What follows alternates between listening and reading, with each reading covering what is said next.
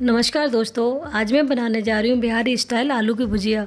भुजिया बनाने के लिए मैंने पाँच आलू लिए हैं। आलू को हम कट करेंगे। आलू हम तीन से चार पीसेस में कट करेंगे।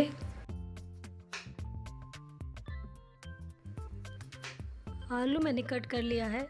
इसे हम छोटे छोटे पीसों में कट करेंगे।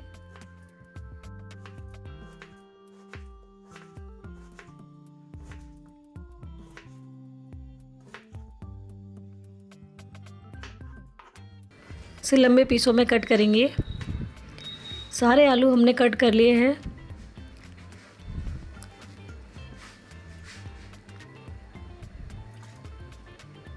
बाउल में पानी लेंगे। आलू को कट किया है, उसे हम अच्छे से वॉश करेंगे।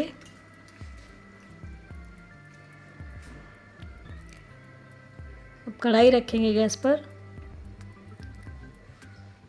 कढ़ाई में हम दो चम्मच ऑयल डालेंगे। ऑयल हमारा गर्म हो चुका है। एक चम्मच सरसों दाना डालेंगे। एक लाल मिर्ची सूखी हुई, चार से पाँच कटी हुई हरी मिर्च। इसे भी हम अच्छे से ऑयल में भूनेंगे।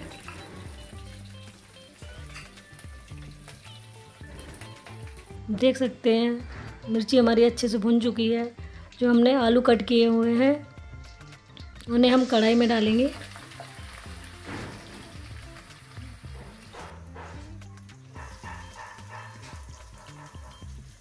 सारे आलू हमने कढ़ाई में डाल दिए हैं। तीन से चार मिनट तक अच्छे से चलाएँगे और ढककर रख देंगे।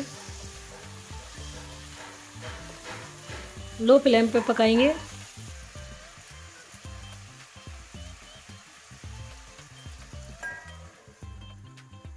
से एक दो बार बीच में चलाते रहेंगे जिससे हमारी भुंजिया अच्छे से गल जाए।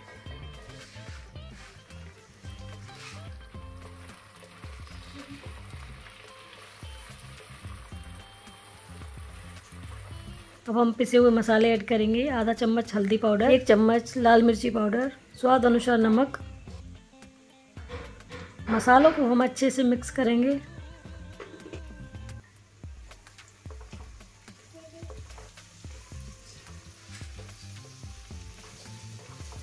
मसाला हमने अच्छे से मिक्स कर दिया है।